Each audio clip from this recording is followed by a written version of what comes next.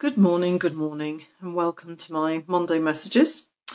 Um, for those of you not familiar with these, I'm Rebecca. I'm a homeopath, I'm a QTT practitioner, a holistic life coach, mentor, and all round natural health advocate.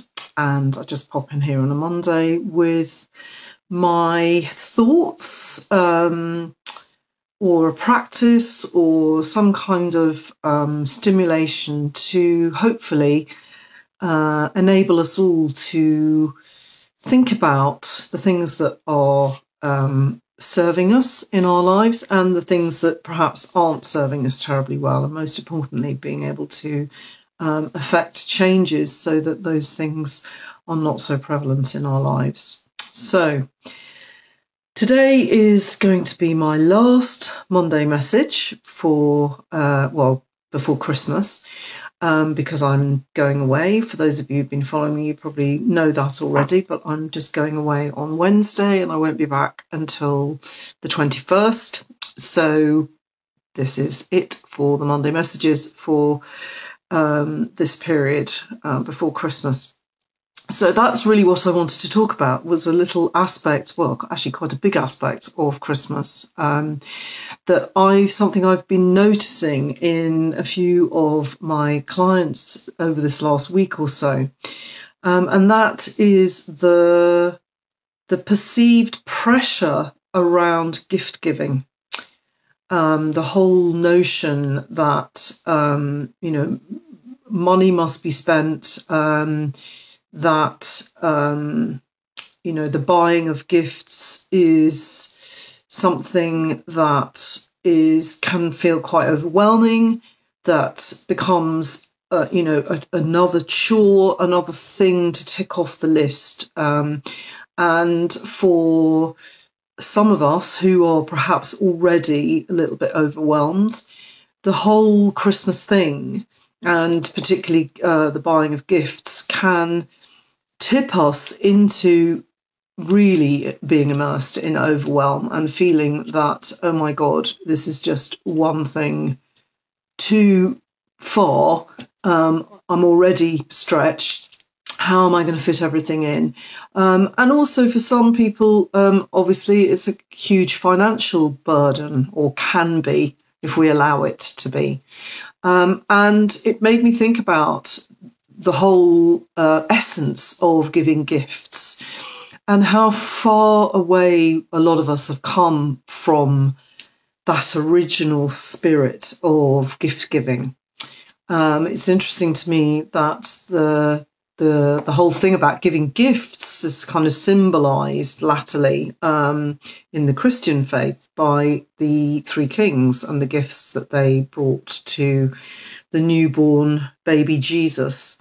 And all three of those gifts are actually medicinal, and they certainly were in those times, um, and and still are in a lot of regards. Um, most of us know that frankincense and myrrh are essential oils, and they have um, very great gifts medicinally. Um, but also gold um, was used medicinally in those days, and actually way be- before that, and it, interestingly is still uh, a homeopathic remedy um, called Aurum, and it's a it's a gift that um, was used to address things like depression, sadness. Um, it was used to calm the nerves and to relieve things like migraines and migraines, um, as well as addressing things like uh, alcoholism and epilepsy, interestingly. Um, anyway, I digress, but uh, that gift giving is interesting to me that it's about health, and actually, that is, in my view, and I would say this obviously, one of the greatest gifts that we can give. But we've got collectively caught up in a kind of feeding frenzy of consumerism around Christmas. And I wanted to just remind those of you that might feel caught up in that. And there is no judgment there, by the way, because I, I feel it myself, you know, despite my good intentions.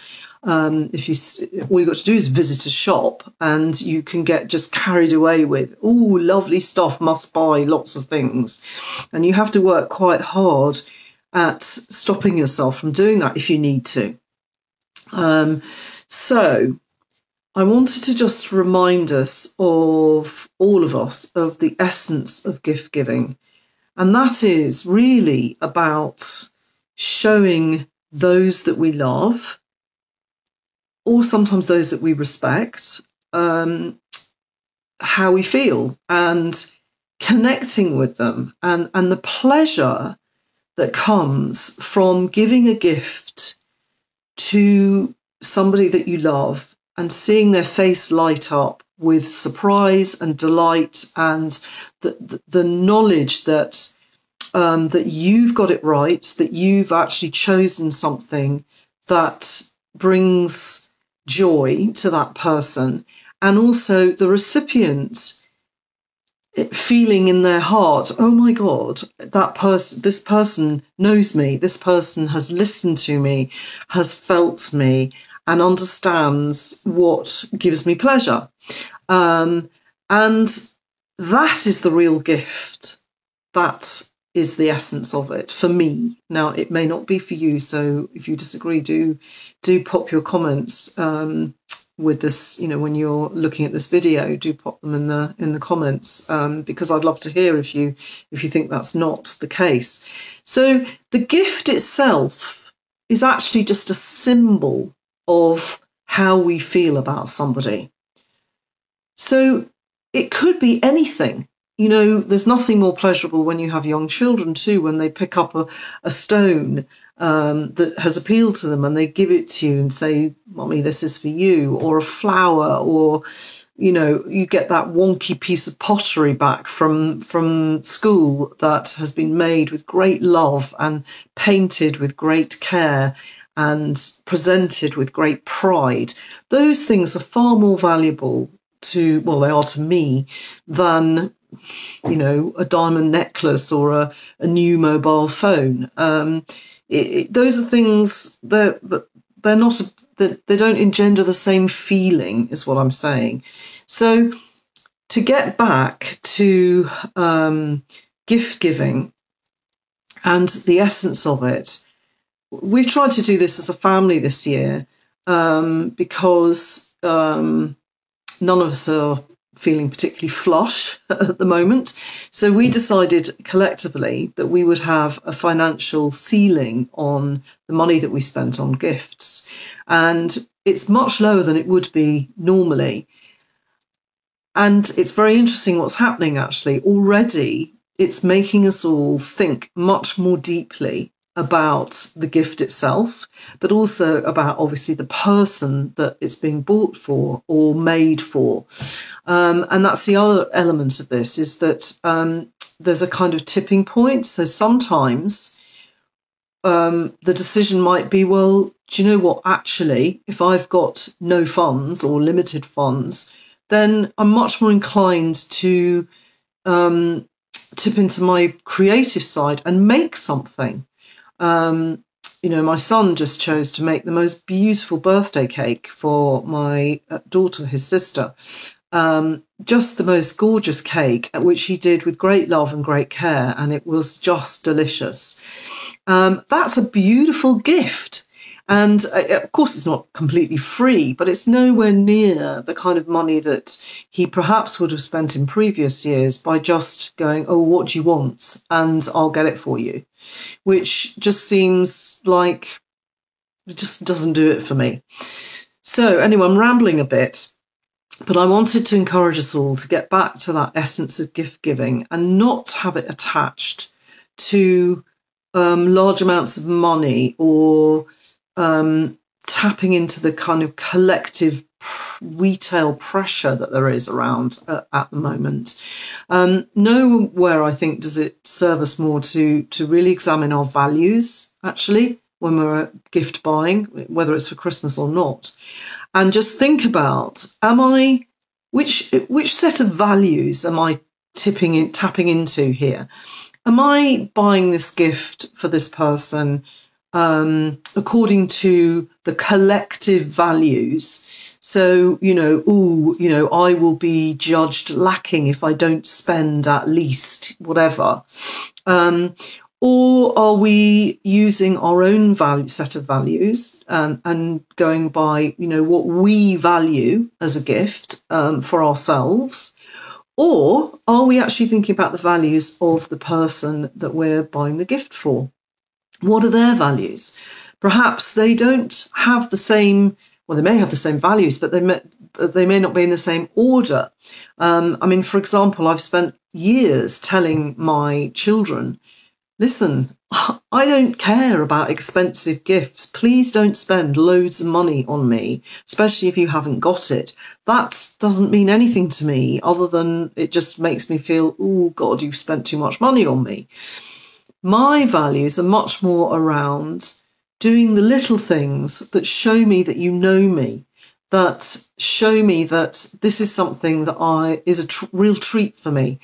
And that could be that could be a cup of tea in bed, or it could be, um, I, I don't know, it, it could be uh, buying me um, a voucher for my favourite massage, or it could be about um, baking me a cake or making me my favourite chocolate nuts or you know anything really it's it's the thought that counts um, it's the intention and it's the the feelings that go with it that are the real gift. Uh, I think it, it would be really interesting actually if we all went back to what our ancestors did and they mostly the gifts were around food were especially when um, in the winter months food is can be scarce. And um, the the things that we've made perhaps when food was bountiful